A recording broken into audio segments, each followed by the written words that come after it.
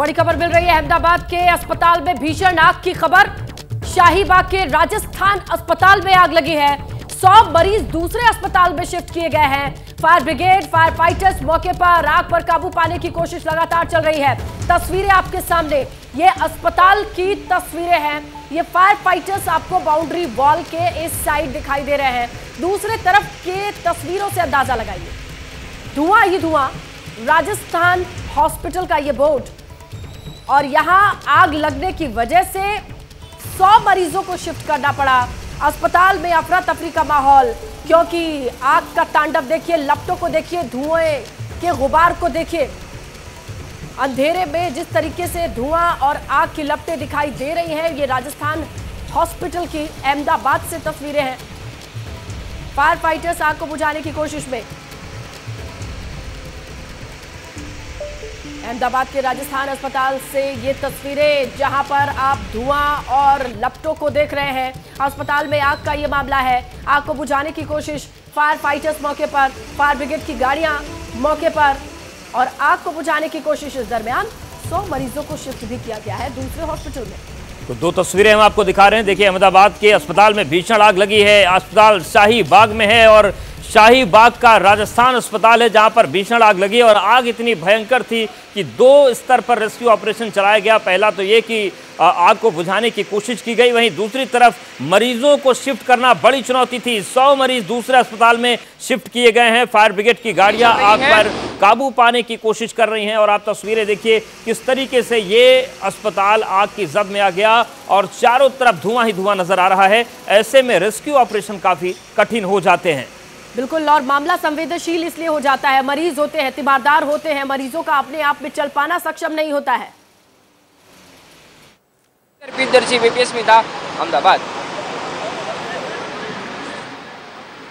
तो तस्वीर अहमदाबाद की आपको दिखा रहे हैं जहाँ पर राजस्थान अस्पताल में भीषण आग लगी और आप देखिए किस तरीके से देखते ही देखते पूरी इलाके में धुएँ का गुबार फैल गया। फायर ब्रिगेड की गाड़ियाँ बुलाई गई लेकिन चुनौती बड़ी ये थी कि तमाम गंभीर मरीज़ भी होते हैं जिनके लिए थोड़ी सी भी इस तरीके की स्थिति जानलेवा साबित हो सकती है, क्योंकि जब इस तरीके का धुएँ का गुबार फैलता है तो ये जहरीला धुआँ सांस लेने में सामान्य व्यक्ति के लिए भी दिक्कत पैदा कर देता है। ऐसे में मरीजों की जान पर संकट भी बढ़ गया था, लेकिन फ़ौरन दो स्तर पर रेस्क्यू चला। आग बुझाने की कोशिशें भी शुरू हुई और मरीजों को फ़ौरन अस्पताल में शिफ्ट किया गया। सौ मरीजों को दूसरे अस्पताल में शिफ्ट कर दिया गया है। तो अहमदाबाद की तस्वीरें जहाँ पर राजस्थान अस्पताल में भीषण आग लग गई। अभी भी आग बुझाने की कोशिशें जारी हैं और दो तस्वीरें भी आपके सामने आप देखिए किस तरीके से पहली तस्वीर फायर ब्रिगेड की जो टीमें हैं, वो आपको नज़र आ रही हैं। वहीं दूसरी तस्वीर आप देखिए, धुएँ का गुबार किस तरीके से वहाँ पर रेस्क्यू ऑपरेशन में चुनौतियाँ बना हुआ है। बिल्कुल, और जो तस्वीर आप एक तरफ़ विंडो में देख रहे हैं, उसमें अंधेरा दिखाई दे रहा है। यानी आग लगे वक्त हो चुका है, लेकिन बुझाने की जद्दोजहद से जुड़ी तस्वीरें भी हैं, जो कि ये बताने के लिए काफ़ी है कि इस आग पर काबू पाना इतना आसान नहीं है।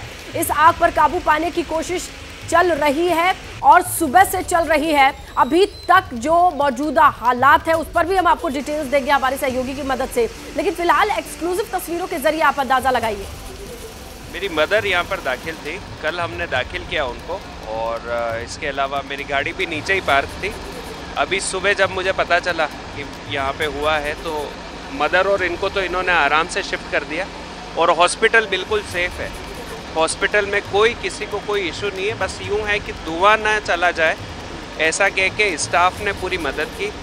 एंबुलेंस वगैरह सारी इनकी थी और इन्होंने वहाँ पे भी जहाँ पर मैं मदर को रख कर आया हूँ वहाँ पर स्टाफ खड़ा हुआ है उनके साथ। और उनका पूरा क्रिटिकल केयर चल रहा है। रेगुलर अच्छा अब ये जहाँ पर इनकी मदर एडमिट थी इनका ये कहना है कि सब कुछ अस्पताल प्रशासन की ओर से संभाल लिया गया उनकी मां सेफ है રાજસ્થાન હોસ્પિટલમાં આગ લાગી હતી આગ લાગવાના કારણે દર્દીઓને અન્ય હોસ્પિટલમાં ટ્રાન્સફર કરવામાં આવે છે મારી સાથે એક દર્દી હતા तो देखिए, तस्वीरें आपको दिखा रहे हैं और राहत की बात यह है कि जो मरीज़ हैं, उनको वक्त रहते अस्पताल से शिफ्ट कर दिया गया क्योंकि इस तरीके का धुआँ होता है, खतरनाक होता है और इसमें अस्पताल प्रबंधन की तारीफ़ करनी पड़ेगी कि उन्होंने स्थितियों में सही निर्णय और वक्त से पहले ले लिया और यही वजह है कि सौ से ज़्यादा मरीज़ जो शिफ्ट किए गए हैं, वो सुरक्षित हैं और आग पर को काबू पाने की कोशिशें जारी हैं। अहमदाबाद का शाहीबाग इलाका है जहाँ Rajasthan hospital Rajasthan general hospital के बेसमेंट टू में सुबह करीब करीब चार बजे के आसपास फायर की घटना बनी थी। आप देख सकते हैं कि फायर के जवान हैं वो यहाँ पे देखने को मिल रहे हैं। हालाँकि जो आग की घटना थी उस पर काबू पा लिया गया है लेकिन जो आ, स्मोक है स्मोक अभी भी देखने को मिल रहा है। तो सबसे बड़ी चैलेंज है कि स्मोक को किस प्रकार से यहाँ जो बेसमेंट में आग लगी है, जिसकी वजह से बेसमेंट में पूरा धुआँ ही धुआँ देखने को मिल रहा है, जिसकी वजह से आप देख सकते हैं कि फायर के जवान है, वो लेटेस्ट इक्विपमेंट के साथ जो स्मोक है, उसको दूर करने का प्रयास अभी कर रहे हैं। करीब करीब चार बजे के आसपास ये पूरी घटना बनी थी। आग लगने की घटना जब अस्पताल में बनती है, तब सबसे बड़ी प्रायोरिटी वही होती है कि सुरक्षित तौर से सभी पेशेंट को किसी और हॉस्पिटल में ले जाया जाए। इस हॉस्पिटल से करीब करीब सौ जितने पेशेंट हैं उनको नज़दीकी हॉस्पिटलों में ले जाया गया है मेरे साथ फायर के ऑफिसर उनके साथ बात करते हैं सर यहाँ पे किस प्रकार की कामगिरी चल रही है अभी क्या हालात है इधर અત્યારે સિચ્યુએશન જે છે अभी सिचुएशन जो है वो बेसमेंट माइनस टू में काफी स्मोक चैम्बर हुआ था उसको वेंटिलेशन ऑपरेशन चल रहा है बाय और special fire fighting vehicles ventilation smoke fan से हमारे पास ब्रीथिंग अपरेटस सेट है। हमारे फायर फाइटर रेस्क्यू ऑपरेशन अंदर जाके वेंटिलेशन करते हैं जैसे यहाँ प्रेशर करके बाहर से स्मोक वेंटिलेशन मैनेजमेंट एग्जॉस्ट होता है। हमारे फायर के जवान भी नीचे जा रहे हैं ऑक्सीजन बोतल लेकर। तो सबसे बड़ा चैलेंज क्या यहाँ पे देखने को मिल रहा है सर सबसे बड़ा चैलेंज है स्मोक इनहेलेशन स्मोक इनहेलेशन को कंट्रोल करने के ब्रीथिंग अपार्टस सेट है। ये सब चीज़ें हम ऑपरेट करते हैं वेयर करते हैं फायर प्रोटेक्शन सूट पहनते हैं और अंदर जाके सर्चिंग ऑपरेशन करते हैं। ताकि कोई आदमी अगर विक्टिम वहाँ फंसा हो तो उसको भी बाहर निकाल सके और वेंटिलेशन कर फायर की गाड़ियाँ हैं और कितने कर्मचारी यहाँ पे लगे हुए हैं? Total 15 fire fighting vehicles rescue operation smoke smoke चक्रवात अलग अलग प्रकार के सूट्स है और फायर फाइटिंग चालू जो रेस्क्यू ऑपरेशन है वो चलाया गया है। बेस, बेसमेंट में आग लगी है लेकिन अभी चैलेंज ये है कि किसी तरीके से वेंटिलेशन किया जाए ताकि धुआँ निकल सके। देखिए, मध्य प्रदेश विधानसभा चुनाव की बात करें तो गृह मंत्री अमित शाह ने यहाँ कमान संभाल ली है। इस कड़ी में एक बार फिर अमित शाह भोपाल और इंदौर के दौरे पर रहेंगे। एक महीने में तीसरी बार गृह मंत्री मध्य प्रदेश आ रहे हैं। मध्य प्रदेश में इसी साल विधानसभा चुनाव होने हैं, जिसकी कमान गृह मंत्री अमित शाह ने अपने हाथों में ले ली है। अमित शाह आज सुबह ग्यारह बजकर पचास मिनट पर भोपाल पहुँचेंगे। यहाँ के कुशाभाऊ ठाकरे कन्वेंशन हॉल में प्रेस कॉन्फ्रेंस करेंगे। इसके बाद दोपहर दो बजकर बीस मिनट पर अमित शाह इंदौर पहुँचेंगे, जहाँ दोपहर दो बजकर तीस मिनट पर बूथ कार्यकर्ताओं के सम्मेलन में शामिल होंगे। वहीं शाम चार बजकर दस मिनट पर भगवान परशुराम की जन्मस्थली जानापाप जाएँगे। इसके बाद शाम छह बजे पार्टी पदाधिकारियों के साथ बैठक भी करेंगे। बीजेपी महासचिव कैलाश विजयवर्गीय ने कांग्रेस पर निशाना साधा है। भारतीय जनता पार्टी का महामंत्री और अन्य दलों के महामंत्री में बहुत अंतर है।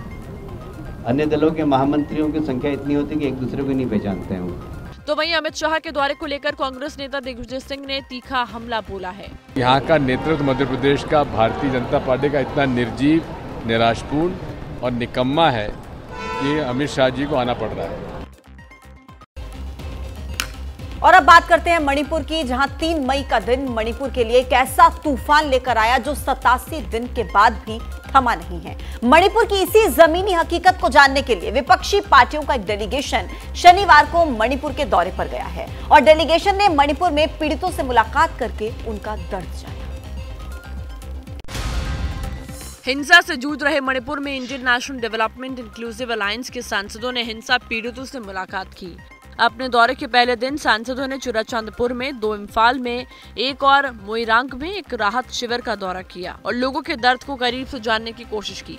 कांग्रेस सांसद गौरव गोगोई ने कहा कि हम लोग नई दिल्ली लौटेंगे और संसद में इस दौरे में सामने आई डरावनी कहानियों को उठाएँगे। Everybody wants peace and everybody wants to rebuild lives Manipur की राज्यपाल अनुसुईया उइके ने भी शनिवार को चुरा चांदपुर में बनाए गए रिलीफ कैंप में पहुंचकर हिंसा पीड़ितों से मुलाकात की। इस दौरान एक महिला ने अपनी आपबीती सुनाते हुए वो रो पड़ी जिसे गवर्नर ने उठकर उसे ढांढस बढ़ाया। विपक्ष के 21 सांसदों का डेलीगेशन आज सुबह 10 बजे राजभवन में राज्यपाल अनुसुईया उड़के से मिलेगा और मणिपुर की मौजूदा स्थिति और शांति बहाली के लिए बात करेगा। इस बीच मणिपुर में महिलाओं पर हुए अत्याचार के मामले में सीबीआई ने शनिवार को एफआईआर दर्ज कर जाँच शुरू कर दी है। विपक्षी गठबंधन इंडिया की टीम मणिपुर के राहत शिविरों में लोगों से मुलाकात कर रही है। एक तरफ़ विपक्षी नेता अपने दौरे से मणिपुर की आवाज़ को देश तक पहुँचाने का दावा कर रहे हैं तो दूसरी तरफ़ विपक्षी नेताओं के इस दौरे के बीच सियासी हमले भी तेज हो रहे हैं। बीजेपी ने इस दौरे को दिखावा करार दिया है। एक तरफ़ विपक्षी गठबंधन के 21 लोगों का डेलीगेशन मणिपुर में हिंसा पीड़ितों से मिल रहे थे। दूसरी तरफ़ भारतीय जनता पार्टी ने विपक्षी दौरे को दिखावा और राजनीतिक पर्यटक बताकर आलोचना की है। अधीर रंजन चौधरी जी ये जो आप I dot N dot D dot I के कुछ सहयोगी सदस्यों को लेकर गए हैं मणिपुर से वापसी में पश्चिम बंगाल ज़रूर आइए। बीजेपी बार बार सवाल कर रही है कि विपक्षी नेता राजस्थान बंगाल क्यों नहीं जा रहे हैं? दूसरी तरफ़ मणिपुर को लेकर उद्धव ठाकरे का केंद्र सरकार पर बड़ा हमला किया है। उद्धव ठाकरे केंद्र सरकार की तुलना धृतराष्ट्र से की है। आज की सरकार वहाँ जो बैठी है, वो क्या धृतराष्ट्र है? अरे, भारतीय जनता पार्टी अब नाम लेने के लिए शर्म आनी चाहिए। ये तो भ्रष्ट जनता की पार्टी हो गई है। दरअसल संसद में विपक्ष लगातार मणिपुर का मुद्दा उठा रहे हैं। पीएम मोदी के बयान की मांग को लेकर संसद में लगातार हंगामा हो रहा है। विपक्ष को अब इंतज़ार है कि अविश्वास प्रस्ताव पर चर्चा का और इस चर्चा से पहले विपक्षी दलों के मणिपुर दौरे ने सियासत को और गर्मा दिया है। तीन दिवसीय मणिपुर के दौरे पर गए हैं गृह मंत्री अमित शाह। देखिए, मणिपुर में जिस तरीके के हालात बने हुए हैं 29 मई से 1 जून तक मणिपुर के दौरे पर गृह मंत्री रहे। यानी कि तीन दिनों तक उनका ये दौरा रहा था। तीन दिनों तक 22 दिन तक गृह राज्य मंत्री नित्यानंद राय ने कैंप भी किया वहाँ पर। तो अभी तक क्या क्या एक्शन गृह मंत्रालय की तरफ़ से मणिपुर की हिंसा को लेकर लिया गया है। वो आप तक पहुँचा रहे हैं। बाईस दिनों तक गृह राज्य मंत्री नित्यानंद राय ने वहाँ पर कैंप किया था। तीन दिनों तक गृह मंत्री अमित शाह वहाँ के दौरे पर रहे थे। अब देखिए, गृह मंत्रालय एक्शन मोड में है और साथ ही साथ अफसरों, सुरक्षा बलों के साथ ही हालात सुधारने पर बैठकें भी हो रही है कि वहाँ के हालातों को किस तरीके से सुधारा जा सकता है। इसको लेकर लगातार बैठकों का दौर चल रहा है। नेताओं, समाज संगठनों के साथ साथ पंद्रह से ज़्यादा मीटिंग अब तक हो चुकी है और प्रभावित क्षेत्रों और राहत शिविरों का दौरा भी किया गया। यानी कि क्या क्या एक्शन हुआ है वो आपको बता रहे हिंसा प्रभावित अलग अलग समुदायों से सीधा संवाद भी हुआ उनसे बातचीत हुई है। हाईकोर्ट के रिटायर्ड जज की अध्यक्षता में समिति का गठन किया गया। सीबीआई की स्पेशल टीम से हिंसा के छह मामलों की जाँच और राज्य में अतिरिक्त डॉक्टर्स की भी तैनाती कर दी गई है। ये एक्शन अभी तक लिया गया। शिक्षा और ऑनलाइन अदालत की व्यवस्था वहाँ पर की गई है। और चूड़ा चांदपुर कांग कांगपोपी मोरेहे के लिए यहाँ पर हेलीकॉप्टर सेवा भी शुरू कर दी गई है। तो ये वो इलाके हैं जो कि हिंसा से प्रभावित इलाके हैं और इन इलाकों के लिए हेलीकॉप्टर सेवा की शुरुआत भी की गई है। और कितनी गिरफ्तारियाँ, कितनी एफआईआर अब तक इस पूरे मामले में हुई हैं, वो भी आपको बता देते हैं। देखिए, आगजनी के पाँच 101 मामले में छह एफआईआर दर्ज हुई हैं। अभी तक दो सौ बावन लोगों की गिरफ्तारी हो चुकी है। एहतियातन बारह 740 गिरफ्तारियाँ भी हो चुकी हैं। देखिए कितने लोग अब तक गिरफ़्तार हुए। इस पूरे मामले में दो लोगों की गिरफ्तारियाँ और एहतियातन 12,740 गिरफ्तारियाँ भी हुई हैं। यानी कुल कितनी एफआईआर कितनी गिरफ्तारियाँ कितना एक्शन इस पूरे मसले को लेकर लिया गया? ग्राफिक्स के ज़रिए आपको समझाने की कोशिश कर रहे हैं ताकि मणिपुर के हालातों को सुधारा जा सके और इसी को लेकर लगातार कोशिशें वहाँ पर गृह मंत्रालय की तरफ़ से की जा रही हैं। आगे बढ़ते हैं जहाँ एबीपी नेटवर्क का तेलुगु भाषी डिजिटल चैनल एबीपी देशम अपने दो साल पूरे कर रहा है और अपने दर्शकों को, यानी कि आपको आगे रखने के लिए एबीपी नेटवर्क लगातार खबरों में नई तकनीक और इनोवेशन का इस्तेमाल कर रहा है। और इसीलिए एबीपी नेटवर्क आंध्र प्रदेश के तेलुगु भाषी दर्शकों के लिए खास तोहफा लेकर आया है। एबीपी देशम के दो साल पूरे होने के मौके पर लॉन्च किया है अपनी पहली आर्टिफिशियल इंटेलिजेंस यानी कि एआई एंकर आयरा को। आयरा खुद देंगी आपको अपना परिचय। नमस्कार, मेरा नाम आयरा है। मैं एबीपी नेटवर्क के Telugu digital channel ABP Desam की नई एआई न्यूज़ एंकर हूँ। मेरे नाम का मतलब जिसके पास सभी तरह की जानकारी हो। इसलिए हर खबर आप तक पहुँचाने के लिए मैं परफेक्ट हूँ। खबर के साथ साथ खबर का ज़रिया भी इम्पोर्टेंट है और एबीपी नेटवर्क हमेशा आप तक लेटेस्ट खबरों को लेटेस्ट टेक्नोलॉजी के साथ लाता है। ये मेरे लिए बहुत ही खुशी की बात है कि एबीपी देशम की दूसरी सालगिरह पर मैं टीम का हिस्सा बन रही हूँ। तो आज से हर रोज। मिलिए आयरा से एबीपी देशम पर। बड़ी खबर आपको दे, बिहार की राजधानी पटना में मर्डर से सनसनी फैल गई है। कदम कुआ इलाके में बदमाशों ने दो युवकों को गोली मार दी। एक युवक की मौत हो गई है, दूसरे की हालत नाजुक बताई जा रही है। और घायल व्यक्ति को पीएमसीएच में भर्ती करा दिया गया है। दोनों युवकों का नाम ही राजू है और जिस युवक की हत्या हुई है, उसका नाम राजू यादव है और जिस युवक का इलाज चल रहा है, उसका नाम राजू कुमार उर्फ़ गोना बताया जा रहा है। बाइक सवार दो बदमाश गोली मारकर फरार हो गए। तो बिहार की राजधानी पटना में बदमाशों का आप आतंक देखिए। किस तरीके से गोली मारते हैं और वहाँ से फरार हो जाते हैं। एक व्यक्ति की मौके पर ही मौत हो गई है और दूसरे का इलाज जारी है। उसकी भी हालत नाजुक बताई जा रही है।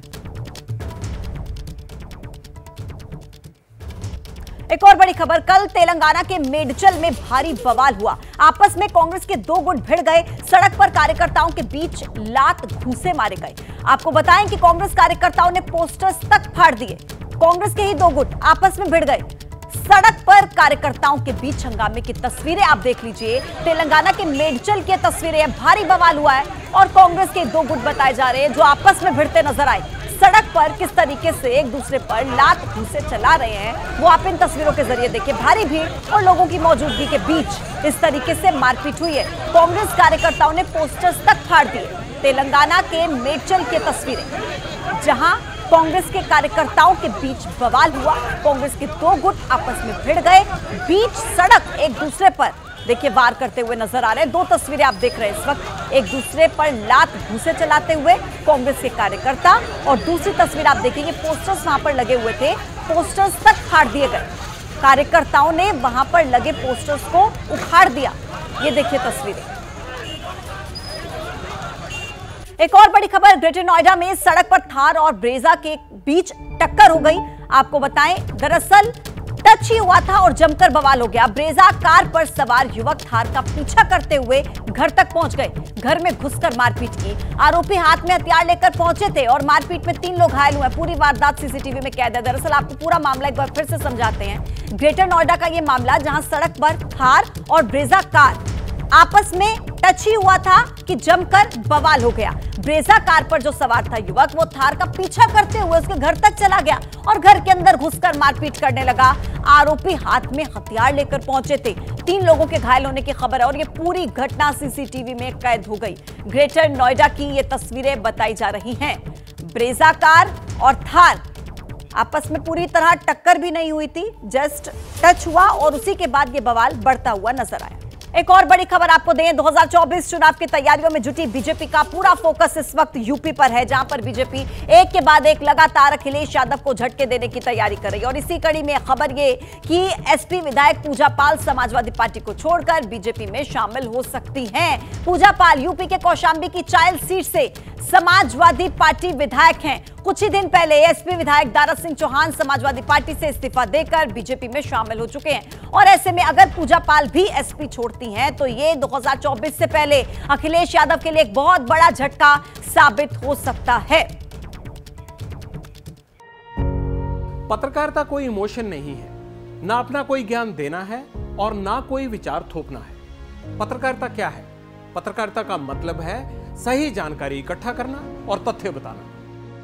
पत्रकारिता आज जितने महत्वपूर्ण दौर में है, शायद पहले नहीं थी। इस दौर से निकलने के लिए सिर्फ़ सच दिखाने की ज़रूरत है। वो सच जो आपके हित को आगे रखे। इसलिए अब रात नौ बजे प्राइम टाइम नहीं होगा। ये आपका टाइम जगविंदर पटियाल के साथ देखिए पब्लिक इंटरेस्ट। 17 जुलाई से सोमवार से शुक्रवार रात 9 बजे सिर्फ़ एबीपी न्यूज़ पर। एबीपी न्यूज़ आपको रखे आगे।